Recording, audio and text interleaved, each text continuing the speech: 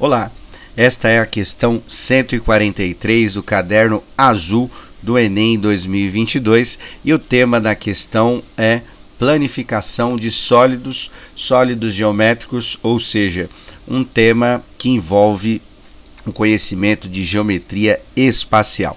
Antes de iniciar a questão, gostaria que você se inscrevesse no canal, caso não seja inscrito, compartilhasse esse vídeo tá? para outras pessoas, curtisse, usasse a parte de comentários, para que esse conteúdo chegue ao máximo de pessoas interessadas no tema de matemática envolvendo o Enem 2022, se preparando para o Enem 2023. Bom, o tema da questão é uma questão que parece fácil, mas não é muito fácil. Né? Eu vi alguns comentários aí na internet, pessoal falando que cortou isso aqui para formar é, os, o cubo ou pegou aquela parte de anotações de rascunho, fez o, o rascunho, cortou e, e, conseguiu fazer. Eu acredito que não tenha nenhuma restrição no edital para que faça dessa maneira, tá? E aí eu vou tentar fazer usando deduções matemáticas para que é, vocês consigam compreender, até porque aqui não dá para cortar e mostrar né, a planificação e tal, tá? Bom, então vamos lá. Questão 143. Ah, dentre as diversas eh, planificações possíveis para o cubo, no total são 11 planificações, uma delas eh, se encontra apresentada na figura 1. Então essa daqui não é muito convencional, mas se a gente dobrar tudo, a gente vai perceber que vai formar o cubo, tá? Eh, os seis quadrados que estão aí. Em um cubo foram pintadas três é, de, suas, de suas faces é, quadrados de cor cinza, de cor cinza escura, de, é, que ocupam um quarto destas faces, tendo é, esses três quadrados um vértice comum. Né? Os três quadrados têm um vértice comum, é, conforme ilustrado na figura 2. É, então, está é, aqui o vértice, né, que é o sinônimo de ponto, e aí nós vamos ter que é, ver aqui, é, conforme as, as opções que deu, qual delas que vai formar esse desenho do jeito que está aí, certo? Bom, e continuando, a planificação da figura 2, conforme a, o tipo de, é, de planificação da figura 1 um, é, tá lá as alternativas e a gente vai ter que imaginar o cubo é, e ver qual delas que dá a, a certinho lá conforme o quadrado está aí para poder é, formar a, o cubo.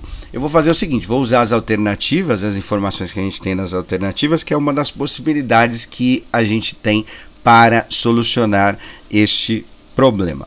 Bom, primeira coisa que a gente observa o, o, esses quadrados aqui é difícil da gente saber do jeito que tá, mas esses dois aqui ele, a, eles, a, eles aparecem em todas as alternativas. Então significa dizer o quê? Que todas elas têm esse formato aqui, ó, tá? Esse formato aqui, certo? E começando por ele, por esses dois quadradinhos aqui, eles vão representar esta parte que está dobrada desta maneira. E aí a gente vai perceber aí no desenho é, a, que a parte de cima, a parte superior, vai ser representada por esse quadrado. Porque se você imaginar aqui dobrando essa, cola com essa, essa cola com essa, essa parte aqui vai representar a base, a base, né? E esse daqui é o que vai dobrar para formar esse quadrado que está aqui do lado. E a gente vai ter que observar a localização desse quadrado aqui, ó tá? que está representado nessa face aqui. Porque esse daqui a gente vai dobrar é, para cima e aí ele vai representar o quadrado na parte superior, certo? Bom, o que, que nós vamos observar? Vamos observar que ele está aqui. Então nós vamos é, é, eliminar algumas alternativas com essa informação. Ó, a é, pode ser porque ele está aqui, certo? A B não, porque está muito próximo aqui da, da, da, parte, então quando dobrar não vai ser uma das últimas. A C também não, porque está aqui. A D pode ser e a E também não, certo? Então o, o último quadrado que vai fechar aqui do lado para formar o cubo. Voltando aqui nas alternativas, a gente vai observar que se a gente desdobrar isto daqui, certo? Se a gente desdobrar, vai estar tá na parte superior e vai estar tá representado nesta, nesta parte aqui ó, do, do, do, cubo, tá vendo? Se a gente imaginar ali, ó, o último quadradinho seria esse daqui, certo? Então nós vamos olhar a observação lá nas alternativas que sobrou, qual delas que apresentam isso daí, e só pode ser alternativa D. Não é uma questão muito fácil para fazer dessa maneira, tá? mas é uma das possibilidades, imaginando a, a figura é, sendo dobrada em num formato de três dimensões, tá bom? Então é isso para a aula de hoje. Questãozinha bem complicadinha, né? bem difícil, tá bom? Um abraço a todos, até.